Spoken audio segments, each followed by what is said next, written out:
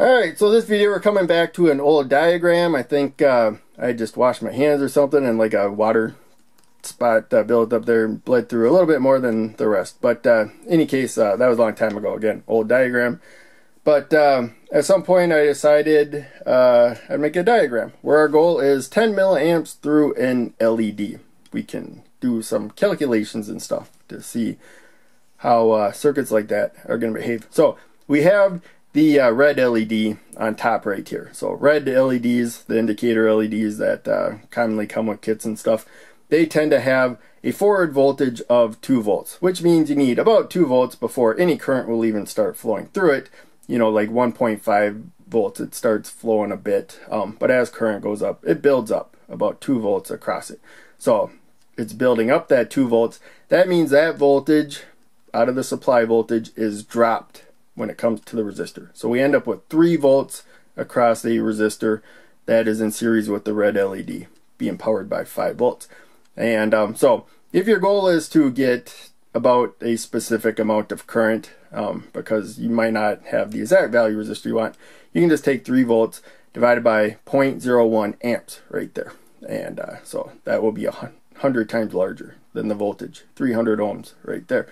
Um, you could also do 3 volts divided by 300 ohms is 0.01 amps. Um, so in any case, that will let 10 milliamps of current uh, flow through the circuit right there.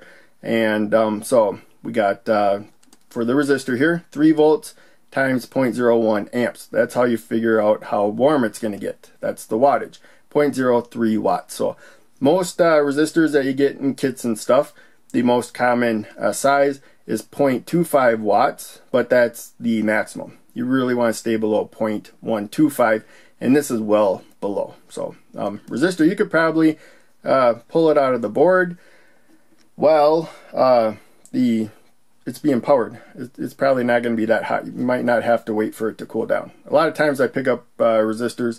Um, they're they're really hot. I get like a burning feeling on my fingers, but they're not very large, so like it doesn't cause a serious burn. I don't get a blister or anything.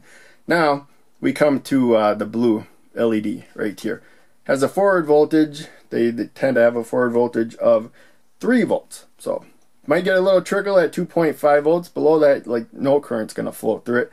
And then uh, when you get about 10 milliamps of current uh, flowing through it, because they don't limit current, they just kind of drop some voltage. Uh, then you'll have about 3 volts built up across it, leaving about 2 volts across the resistor. And uh, again, the math is easy. We have, uh, if you want to do the current to find the resistance, you can do 2 volts divided by 0.01 amps equals 200 ohms. And uh, so it's, uh, you know, 100 times larger than what the voltage is to get 0.01 amps, the voltage across the resistor. It's not the supply voltage. Um, somebody mentioned this in a recent video. It's something I used to think, so I don't think that person is uh, dumb or anything. Um, I used to have a hard time. You got 5 volts at the supply. That will determine the current through the resistor. Nope, if something's in series with it, it's taken away some of the voltage. So um, if that's confusing, be aware of that. When they're in series, uh, the voltage is divided up among the components. LEDs have a fixed voltage they put across them.